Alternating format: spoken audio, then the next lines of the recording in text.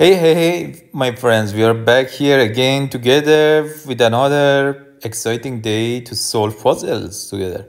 So we win that knight for free, right? Uh, What can mm, white do? I don't know. Uh, We just captured the knight with the mm, queen, then what? Mm, um, we are just off a piece. What is going on here? Why it's so easy? Do we have something even better than winning a piece? I mean, we capture the knight, then queen goes away, attack, uh, rook attacks our queen, but uh, we have time to move the queen somewhere and then survive. I don't see anything uh, because there are just plenty of rooms. I just don't see what can go possibly wrong here. Let me capture think. Ah, okay. This check, all good. I just move away with the king. Okay, here is important. Where do you want to go? Of course, I don't go there or I go there. I can go mm, there on f8 and h8. Mm, And yeah, uh, of course, h7 is not possible because gives a check with the queen and then it gives a check at d3 with the queen and then wins our queen. But what's the difference between f8 and h8? Why it is a puzzle here? So the one thing about fa I notice is that if by any chance queen of white can move to somewhere like uh, h5, then next move can mate on f7. So suppose I go to f8 and then white moves the queen somewhere and I have to move my queen away, then this gives chance to white to bring the queen somewhere like g6 or h5 so I should be careful. And what about h8 h8 seems to be very safe because single move doesn't help the queen of white to be in a mating position. So I would say that without further ado we can just simply do this and then think. Okay here says that I want to win your mm, mm, bishop. I say, no, please don't win my bishop. I saw this could happen, but I thought that we should have an easy way to save the bishop. But is there an easy way to save the bishop? Because mm, I cannot defend the bishop with the queen, right? I cannot just go there and defend the bishop. First of all, I should move my queen away because rook is attacking. I cannot go there because push the pawn on b4 and attacks our queen. Then what can we do? I can, of course, grab this rook and takes I take back, but then, then, then again, I should defend the bishop. Another direction I see is that I can play bishop there takes my queen, I take the queen, takes my rook, I take the rook, then takes my bishop. So it doesn't sound like like plan, right? That, that's not what we call it a plan. Uh, what else we can find here? Of course, I can attach uh, attack the queen, but then takes my bishop. So it's it's getting complicated actually. More complicated than I was expecting. hmm What to do next? Grabbing the rook, grabs, grab.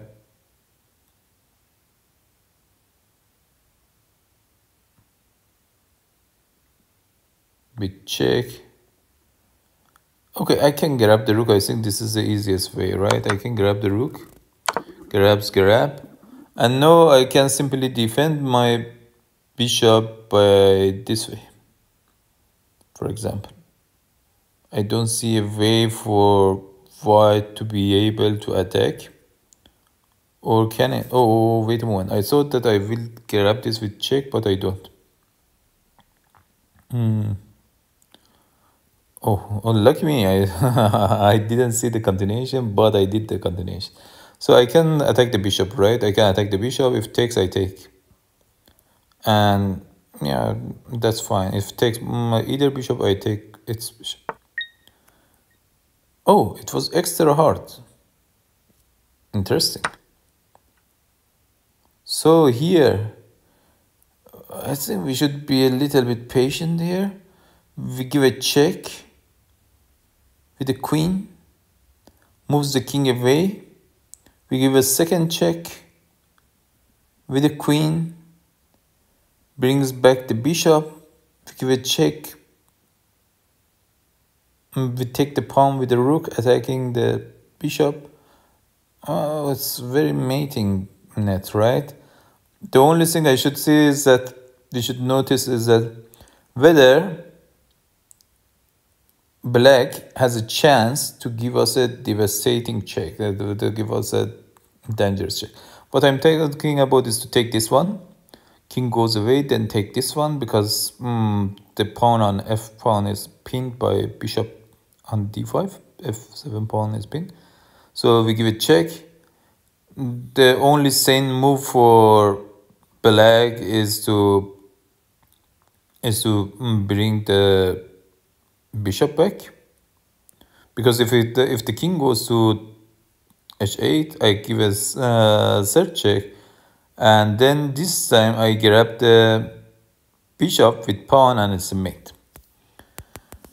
so but what happens is that I take take and then place bishop g7 after bishop g7 what I was thinking was to take on f pawn with the rook or with the bishop either either way. Mm, I don't know which one is the best. Oh with the bishop is the end right? I take take take with the bishop. It's forced to take. Yeah the otherwise it's a mate takes with the rook. I take with the queen. Yeah it's a mate looks like a mate right?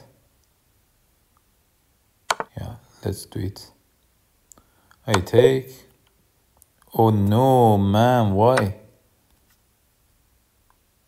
No, don't tell me that I had to take right. No, man.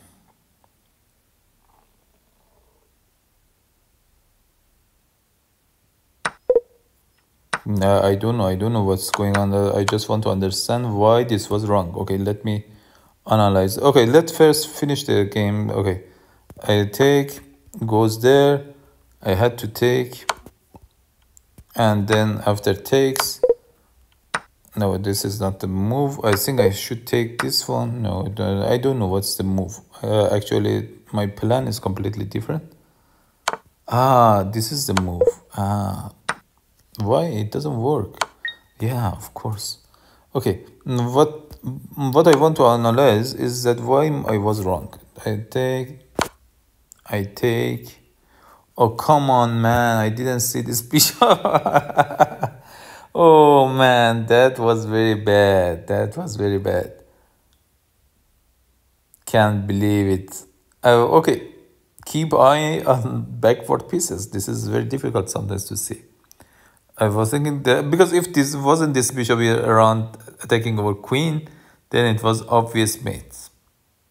What I want to say is that if it was playing something like this, for example, then this one, king goes there, this one, oh, still this bishop is there. I didn't see this bishop, but suppose this bishop wasn't there, okay? Then had to do something like that, and then this was basically mate. But I completely missed this bishop, and this is why, why I made a mistake. I didn't think deep, and I made a mistake. So what if we just give a check captures uh, or, or we don't give a check We captured the rook. Oh, we are black. We are mating basically. We are the one who is mating. Uh, all the time I was thinking, uh, okay, I can grab the rook with the pawn, but we are black. so I can give a check from here, of course. Uh, if we were able to give a check from here, it was a mate, right? But that's unfortunate that we cannot. I can give a check from here king goes uh, and king uh, and pawn moves the other way so that's good or I can even I can even go there for example threaten to mate at here force white to move the king away or I can go here threaten to mate here I don't know. There are there are tons of options. I can give a check from here, force the king. So if I go here, threatening mate here, it doesn't work, I believe, because mainly because the rook on f1 can jump, uh, f8 can go to b8 and then uh, block my check with the bishop or with the rook. So this is not a proper mate.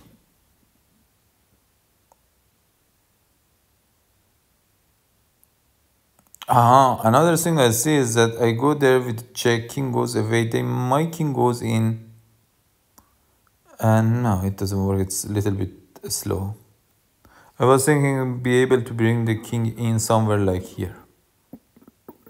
And then mate with the rook. But this is a little bit slow because this rook is here. I should move the rook away. You know it's too much.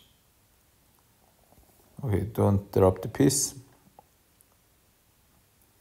What if I do a simple move of like moving the rook there and then threatening this. Place rook b8 when I go back rank uh, plays rook b1 or bishop b1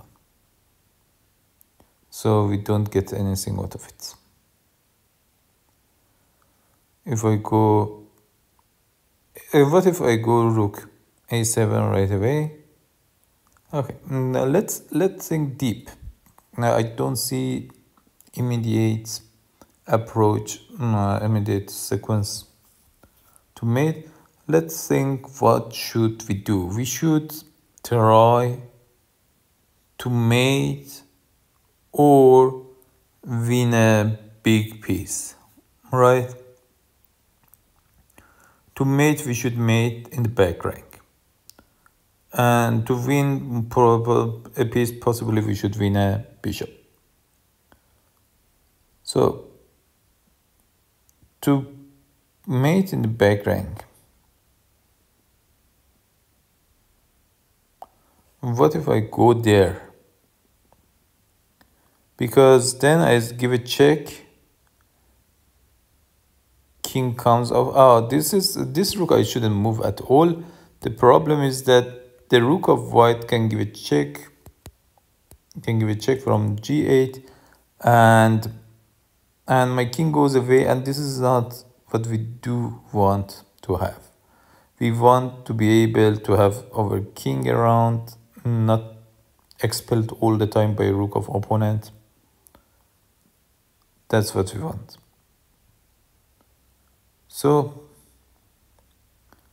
uh, another direction I'm thinking is that I can go there. Yeah, that's it, right? I can go there and then king goes away. Yeah, that's it. It was super easy, right? Because after this check, my king comes in, right, to deliver mate with the rook. And there's no way except to give a check with the bishop and then I simply grab that bishop. Sometimes, sometimes we are, okay, let me show you, we are overcomplicating the situation.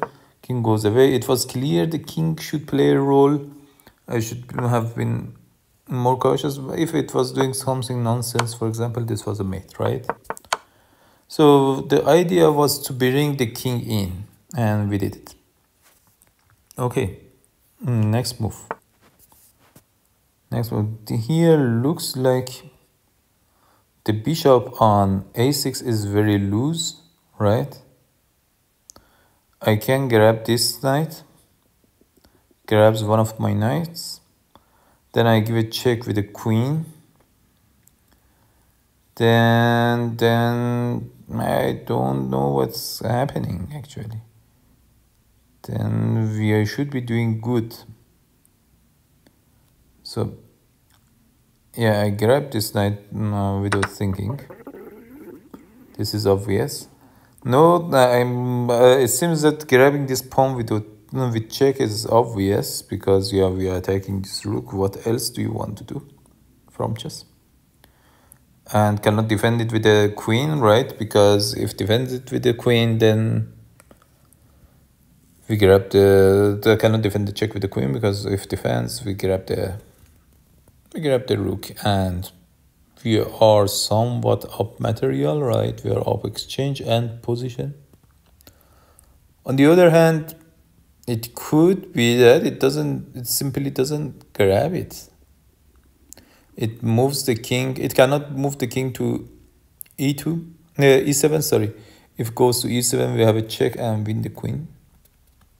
Definitely that's not the move, but f7 is a possible move, right? King f7. No, I'm thinking, what's my counter attack against f7? Of course, I have a check with the knight. Yeah, that's it. Uh, king should go back and then we deliver mate. Yeah, that's it. Now let me show you quickly. Okay, after this I show you what, what, was happening if king was trying to be... Oh, we are daily solver. If king was trying to be adventurous and was trying to move. Come on, why it's so slow? Oh, we reached the new stage. It's too much animation. This is uh okay. Uh, this is too much animation. Maybe just let's go. Okay, the way I took this knight. This is intuitive. It's not possible to calculate everything, but the thing is that you release the queen to escape. Your knight is under attack, so you don't have much time to move. You know and you know that the knight on f3 is good because helps the bishop to go there but this bishop cannot go there because the knight of black is there so this knight is very annoying in the center just grab it and after it takes takes no suppose uh, first of all this is not possible right because yeah we win the queen second move that i considered was this but this doesn't work because then we give a check from here king cannot go here because the bishop beautiful bishop comes here and this is a mate so the only place king can go is basically here, but then it is again the same scenario. We go there, there, and mate. So this is why I said that king cannot go to f7 and has to give up the rook. Okay, let's go to the next move. My stomach is blurping. okay, here we should wait like a waiter, right? we should ask white please push and because we have a passed pawn we can deliver mate or some uh, we can push the pawn later so what i'm saying right now is that of course i can take this one. We can calculate. I can take this one takes and then i can go grab the c pawn but in meanwhile white grabs the f pawn and because my a pawn is a corner pawn it's very difficult uh, so after the grabbing this uh, and white uh, in a long term grabs the f pawn the only pawn for me is left is the a pawn and it's difficult to make it queen uh, because white's king is also not too far um, this is a corner pawn and it's not easy to queen it. So I can calculate everything or maybe it's difficult, but it's possible to calculate. But I'm thinking about different approach. Be a waiter. Push the pawn to b5 and wait for white to push the c pawn. Once white pushes the c pawn, we captured. Now we should be careful and now we should calculate to be on time to stop A and P B1 pawn marching together. So we capture, uh, okay, we push and I don't know what white is doing mm, at this moment. If moves the king, then we also move the king to um, is uh, 6 and we definitely win in this situation. We are very close to the pawns and we have our f1. But if it doesn't move the king, for example, plays uh, plays b5 after we capture, plays b5. We play, okay, uh, suppose this is captured. Push and we capture. We push, push, we capture. Uh, suppose plays b5, okay. Ignore this pawn for now and also ignore the c pawn. Plays b5, we play king e6. Plays b6 we take with the pawn we take with the pawn push the a pawn our king is only in e6 not the best place. So it doesn't work right? We are a little bit slow. We cannot capture so another idea is that after push and we capture plays b5 we play c4 goes king uh, e3 we play f4 with the other pawn with this pawn. Attacking the king with check. If takes we push the other pawn. If it doesn't take and goes for the other pawn we push this pawn. And seems to be very legit right? And we are most likely on time. It's a little bit difficult to calculate. But yeah, I will go for it. I will go for it. I push. Okay, okay. Here, white did a different move order than what I was expecting. He didn't push the b pawn. He bring the king back now looks easier because we can go there and then there because now we have time we go there and if plays uh, b5 we go there. And we can stop the pawns of white right? This is the easy pawn stopping um, scenario. If we push our pawns we lose. Goes uh, gets close to this pawn and wins this pawn it's a little bit difficult to say what exactly happens but most likely we lose the pawn but this is very safe. I go there, prevent the king from coming in, and I also prevent the pawns from pushing forward. Or if they cannot, they push is okay, but it doesn't harm. I go there, push to b6, I take, push a6, I go c6, push a7, yeah, that's fine. Yeah. Oh no, come on. Why? Why? This was very easy looking, right? I mean, uh, I guess it wants me to push this one and then go like this. Yeah. Mm. Yeah, that was easier. I pass. I mean, sometimes they should stop the puzzle. Sometimes they should stop the puzzle. But what I was doing is I would know. I was saying I believe it was working as well. I was playing uh, sorry, I want to analyze it. No, I don't want a hint or anything, but where, where is it? Where is the analyze? Okay. Yeah, I don't I don't know where is the analyze, how can I analyze it?